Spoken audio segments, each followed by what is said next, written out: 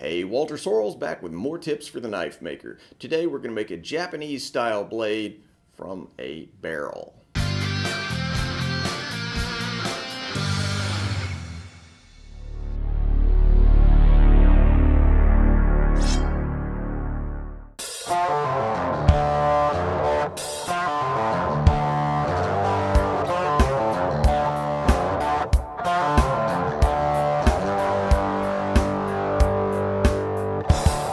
Traditional Japanese swords are made with a complicated construction, which consists of an exterior skin of very hard steel and then a softer steel that's on the interior of the blade. Now, the purpose for this is to make the blade uh, more resilient so that you can strike things with it and the blade won't break in half, and yet you can still maintain a very hard um, cutting edge that you don't have to sharpen all the time.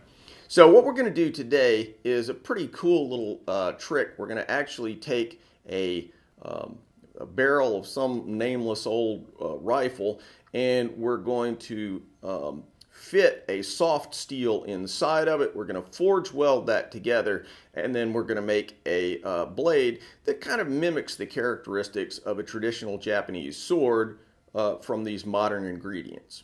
Now this is a very complicated project with a lot of different elements, so I'm probably going to break it up into about three different uh, videos. First one, uh, today's video is going to just focus on the forging of the blade.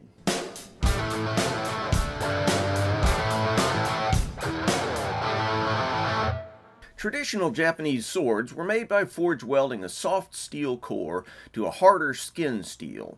We're going to mimic that here by forge welding a mild steel rod into the barrel of some nameless old bang stick. This blade was suggested to me by a viewer, Andrew Audsley, about a year ago. He was kind enough to send me this barrel, so at long last, Andrew, I've gotten around to doing the project. So the first thing we need to do is to find out whether this steel can even be hardened at all. If it can't, it's game over, so let's give it a test. First, I'll cut off a piece of the steel and hit it with a hammer. As you can see, the material deforms, it squashes, showing that it's in a relatively soft state right now. I'll heat it up to about 1500 degrees in my forge and quench it in a bath of engineered quenching oil. If it's capable of hardening, this process ought to get the job done.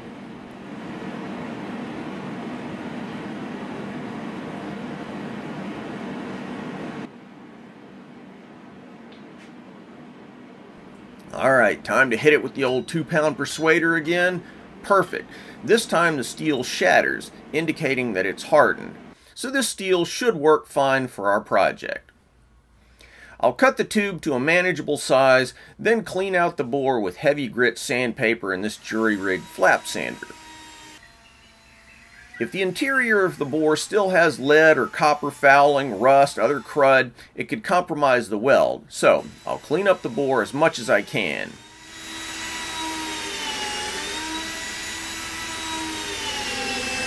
I'll also clean up the surface of the mild steel rod to remove all the mill scale. Mill scale would definitely ensure that the weld would fail.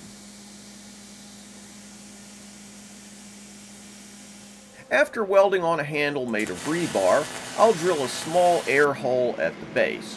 When I insert the rod, it's going to be hot and covered with flux, which would tend to seal the bore, making this into a sort of pneumatic piston, which in turn would likely prevent me from being able to insert the rod.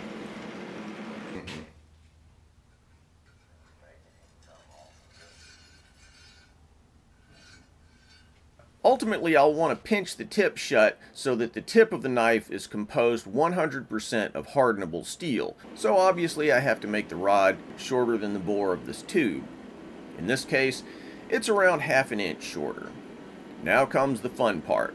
I'll begin by heating both my tube and rod, then dusting them with borax flux, which will help clean the welding surfaces and ensure a good weld. Now it's a little tricky getting this to work because the rod's expanded from the heat, the flux is messy, the steel's softened a bit. Ultimately I had to get off camera, but eventually I was able to wrestle the rod into the bore.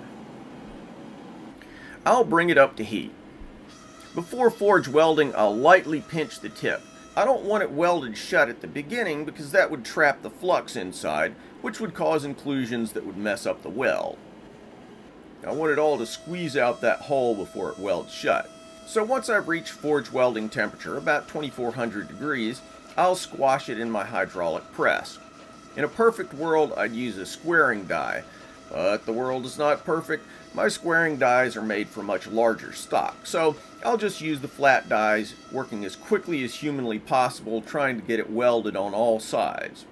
Back into the forge, back up to welding temperature, rinse and repeat. Sealing the tip shut and giving me that 100% hardened portion that will serve as the tip of the knife that I'm ultimately going to make from this billet. Now it's just a matter of flattening it into a bar.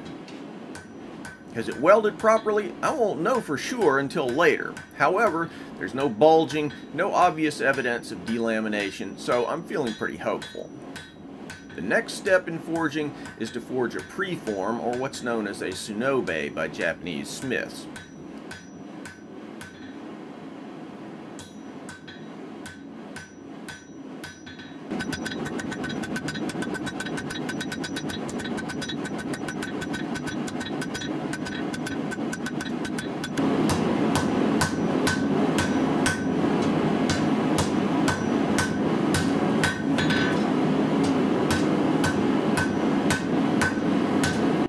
Just a footnote here.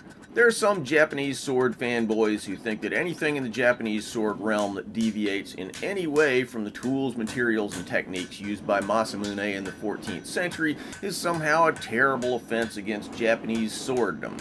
Now, to me, this is kind of ridiculous. What we're doing here is not intended to be and not represented to be a Japanese sword in the traditional sense. Rather, we're showing how different tools, materials, and techniques can be used to achieve similar ends to those used by Japanese smiths a long time ago. Let's face it, we're just having fun here. So forging the preform looks fairly simple-minded. What you end up with looks sort of like a crowbar. There's no edge on it, no bevel, but actually this part of the process has to be done very particularly, building in all the correct tapers and proportions. If you don't, it's impossible to impose the correct geometry when you go to bevel the blade in the next phase of forging. If you're curious why I'm leaving the bar attached to the welded handle, it's just because forging a blade with tongs is always a bit of a pain in the neck. Tongs are just never as secure as holding something directly with your hands. Later I'll have to hot cut the bar free of the handle and use a pair of tongs, but I'm just not there yet.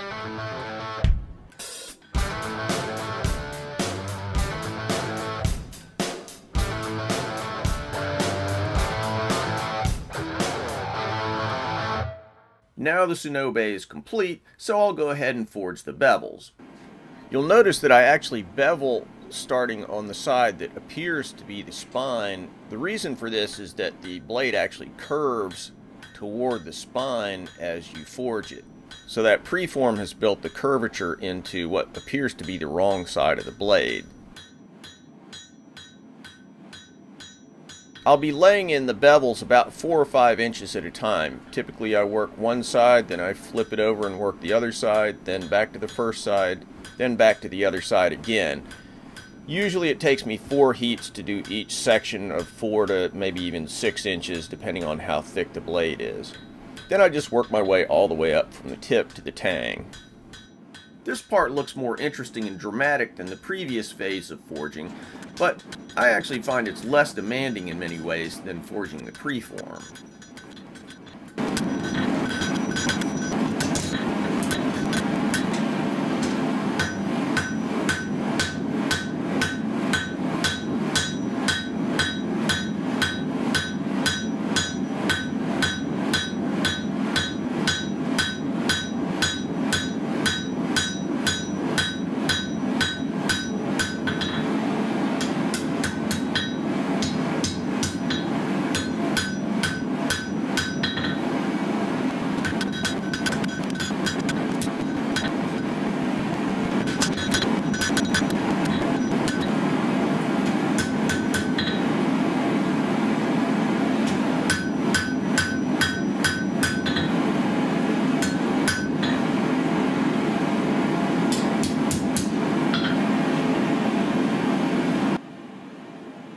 Once I get to the point where I need to start working the tang, I'll hot cut the blade free and then do the rest holding it with tongs.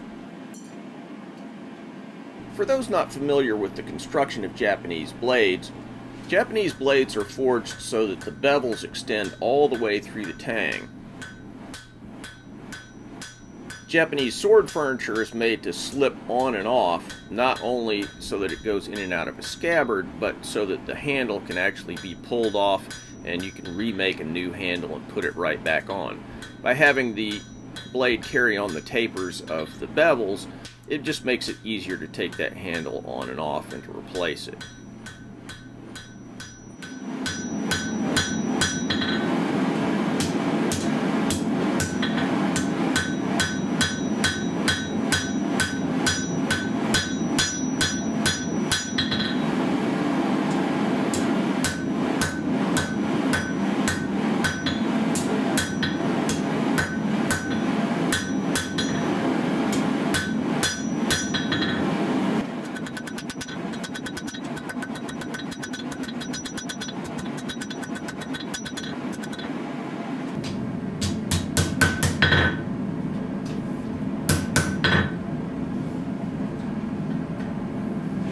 Now at a somewhat lower temperature, I'll make final corrections to bring everything into line for the exact shape and size that I want.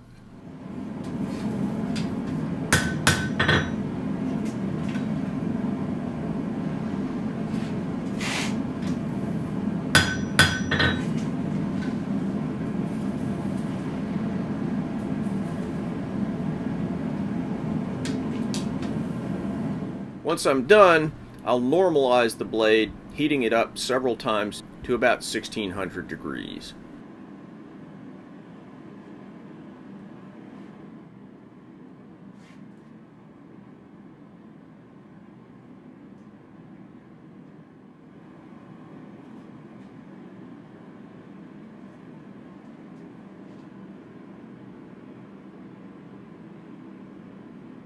And there we have it, a forged blade.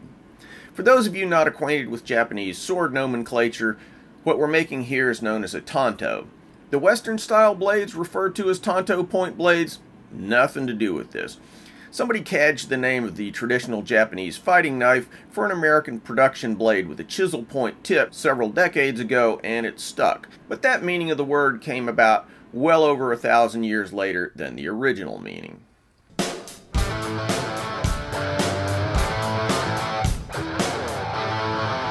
Alright, so we've wrapped up the forging of the blade. Next we're going to move on to uh, shaping that blade a little bit more and then we're going to heat treat it.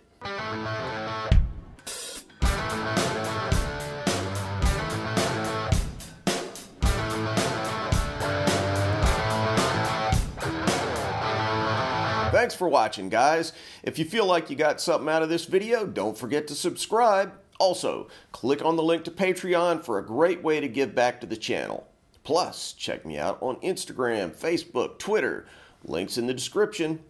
If you want something sharp and pointy, maybe a gift for yourself or one of the cooler people in your life, check out my Tactix Armory website and pick up one of our tactical or outdoor knives. And finally, if you want to learn to make hamones or Japanese swords, check out waltersorrellsblades.com where you can find videos about how I make hamones as well as forging, mounting, polishing, and fittings for Japanese swords. Thanks and see you soon.